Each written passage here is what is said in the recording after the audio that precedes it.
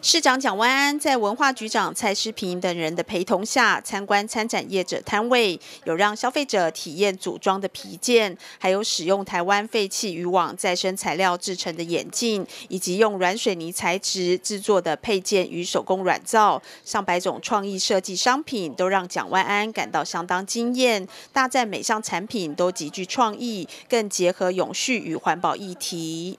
刚刚一进来走了一圈。哇，我真的非常的惊艳，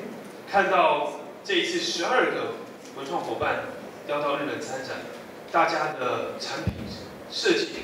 真的每一个我都好喜欢。你真的要我选，我还真的选不出来啊，要哪一个？每一个都是非常的有创意，而且融合了现在我们大家很关心的永续的议题，啊，强调的环保。我想这一点真的是。台北的骄傲，台湾的骄傲。其实我们新师傅团队上任之后，非常重视文创产业的推动，所以今天得知我们即将有一个团啊要去日本东京参加这样的一个大型盛会。当然，因为过去疫情啊，我们停了，但是我知道从二零一五年开始，我们连续五年都有参加，而且。大家在这每一次在日本东京的这个设计展，都表现非常亮眼。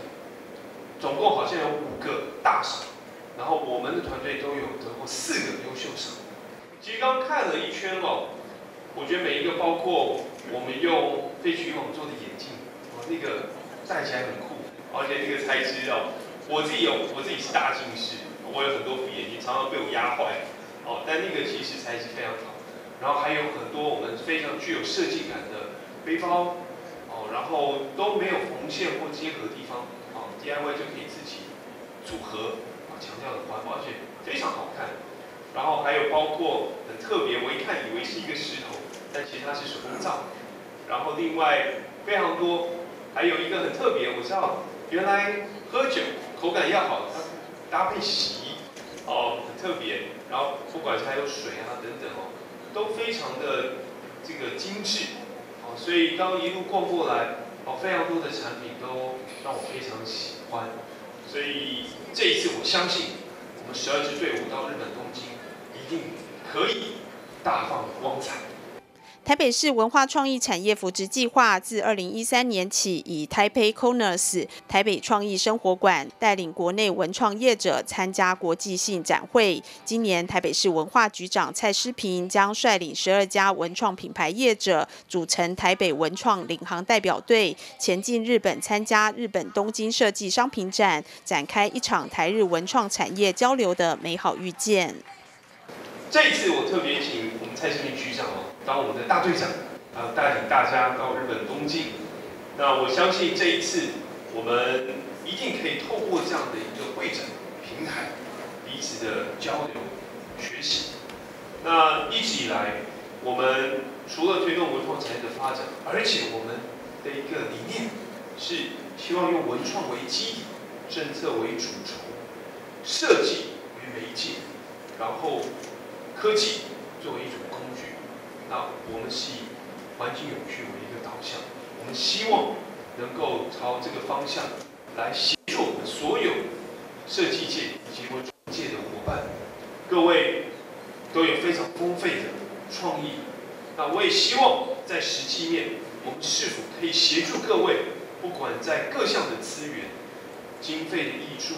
人才的招募，我想这些都是大家实际很面临到的一些状况。困难，我们台北市政府一定竭尽所能的给予大家支持。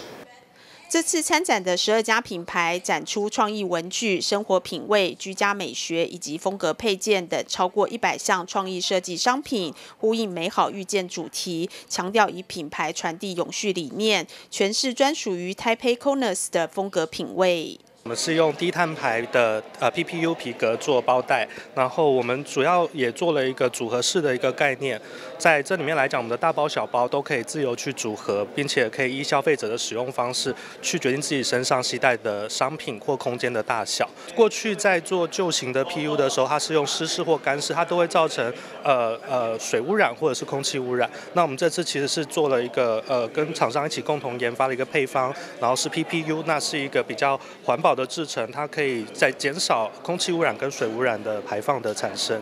我们品牌主要做的是软质地的产品，那用冲突美学的概念贯穿我们品牌所有的产品，就视觉上看起来坚硬粗糙，但实际上使用却是柔软质地的实实际啊好用的产品。譬如说这个是软质地的手工皂，像一颗岩石般一样的软质地的手工皂，但是它却。可以很好的清洁，有温和的洗净力，是弱酸性的酸碱质质地的手工皂。主要我们品牌比较特别的地方，就是从材料开始去做研发。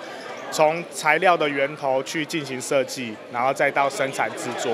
那软水泥的部分是混合了细胶、橡胶、水泥砂石等不同的颗粒去做制成。那像这个皂的部分，还是秉持着有甘油纯水，但是我们特别加入了海藻胶的精华，然后去以及一些植物性跟矿物性的配方，做到这个皂的一个质地。